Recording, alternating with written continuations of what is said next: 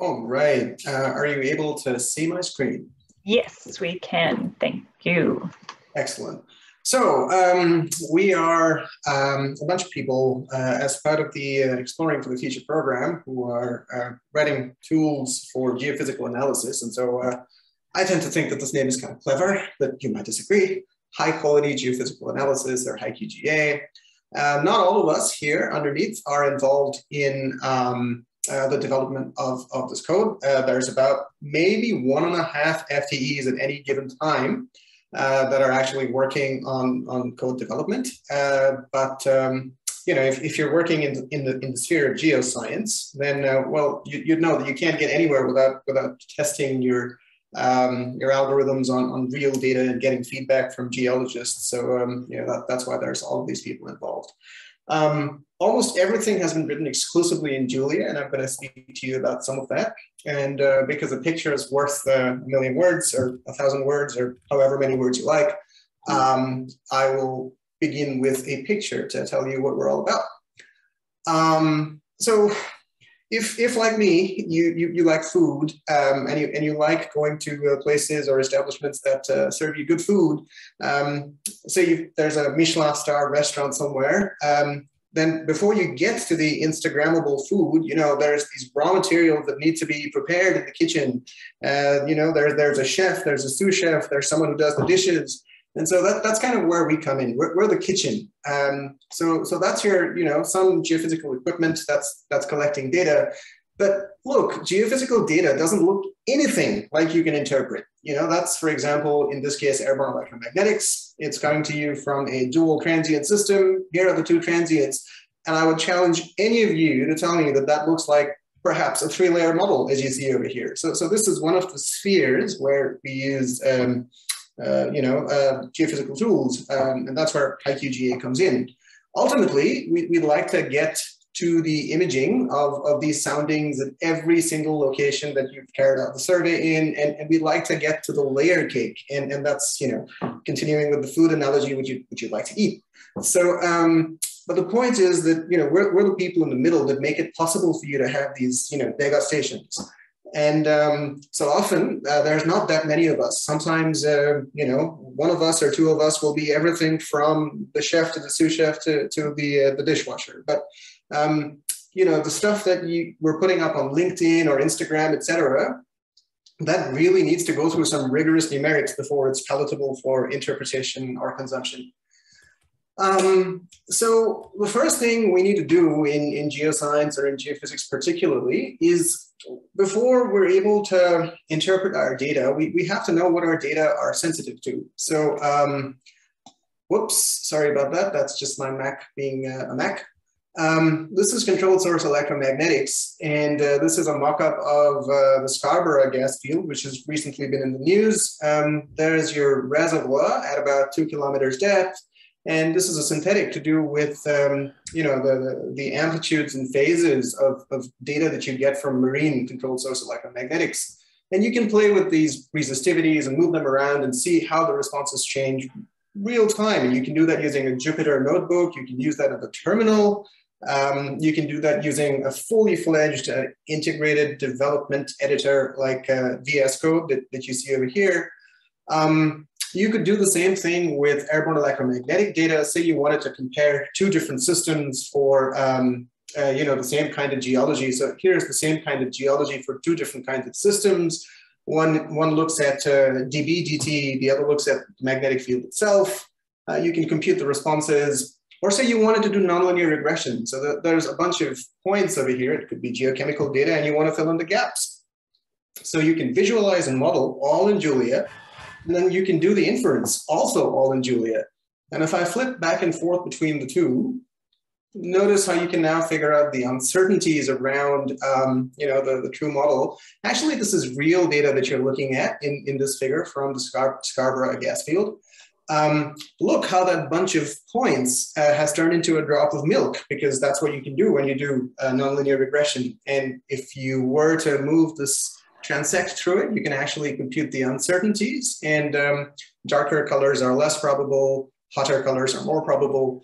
And look, you can compare those two airborne electromagnetic imaging platforms and look at the uncertainties around uh, the true model. And, you know, in, to first order, they, they both provide um, uh, the same levels of resolution. And so we're able to play the honest arbiter as the government.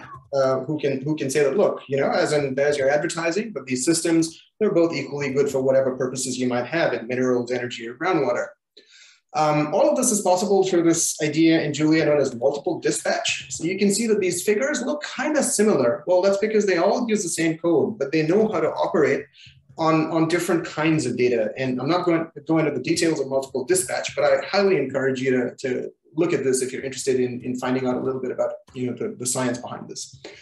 And then you could say, well, and all of that is just you know synthetics, but what about real data? So um, a few months ago, I had to, you know, operations manage uh, the survey up in Queensland uh, over the intake beds of the Great Artesian Basin. And um, this is production data we're looking at. So I was just looking at um, one line of data. It's about 1,500 soundings over 160 kilometers or so. And I was just able to send this off to our cluster over here at the ANU um, using this code you see on the right. And you know, you, have got to admit that it's pretty simple. It says, do this from this particular module using the function loop across soundings with all of these soundings with these parameters. And so this is just like writing a notebook, right? And, and look at how you can use symbols over here. You, you can say lambda, beta. So if you're writing the code and you're familiar with the math, it just becomes very intuitive to use. Um, and let's look at the results from that. So there's your 1,125 soundings. Uh, this was done over 960 CPUs. That's 20 nodes for those who care in about 20 minutes or so. And, you know, um, yeah, it, it's just just so beautiful. Every single geo that I've shown this to has been like, ooh and ah. And so uh, I hope I'm prompting a little bit of that from the rest of you. But you know, those of you who say, well, this is just one image, and what about the uncertainties and non-uniqueness and all of that? And so here we are. Uh, you can do a Bayesian inversion. Um, it, I use the same number of CPUs, the same number of nodes, but because you're sampling multiple numbers of times, well, it's going to um, take a lot of time, right? Um, so it, it, this one took quite a lot more time, but um, you get the message. You can do a deterministic inversion. Um, you can do um, Bayesian inversions to figure out the uncertainties. So, so all the good stuff. It's all within the package. And you know, so you can say what reality, uh, what what bearing does that have on reality? And and this is what um, the hydrologists and geologists in the area have painfully put together with outcrop information. And look at how similar it is to, you know, the conceptual models uh, to what we've inverted. And um, you know, so you can fill in these question marks that the uh, state agencies have. Uh, this is hot off the press.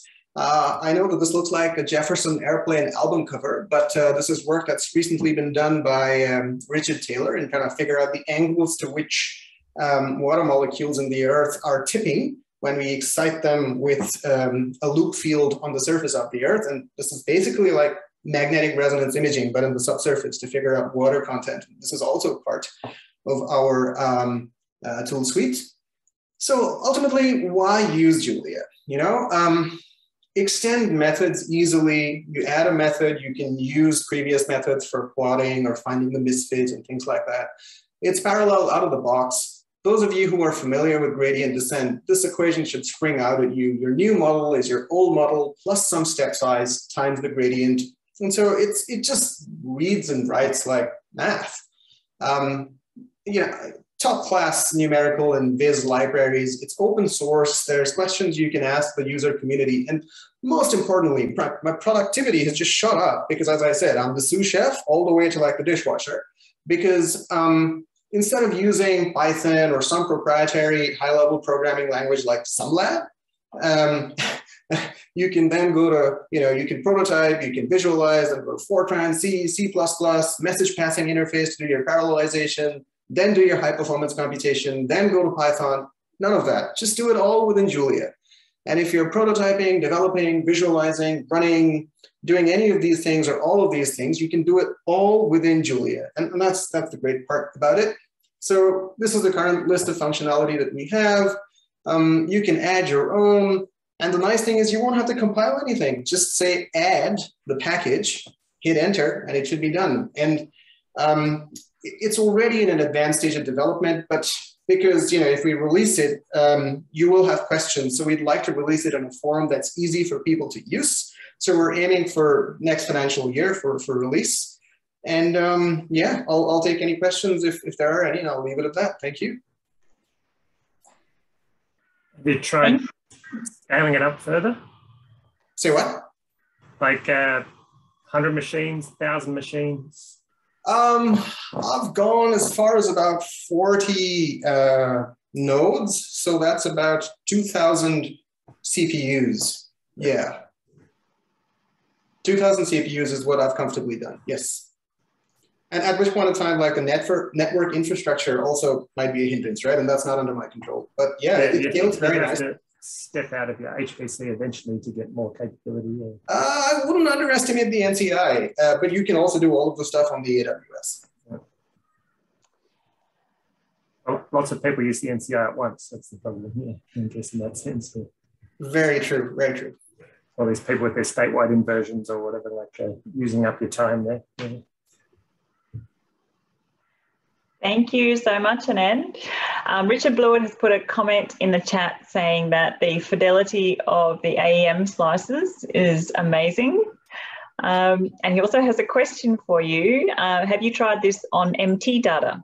Uh, no, but, but Richard, you seem to have figured out all of our uh, future plans. That is indeed uh, in the pipeline because that is, you know, um, as, as they say here, um, it's low hanging fruit. That is immediately something we can do. And, and with the, uh, you know, the, the infrastructure that we have in place, um, it's a cinch to be able to do joint inversions because, you know, as, as I've said over here, um, you can add your own, which means, um, you know, it's, it's not that difficult to add in, uh, you know, new functionality. But yes, that is definitely in the works.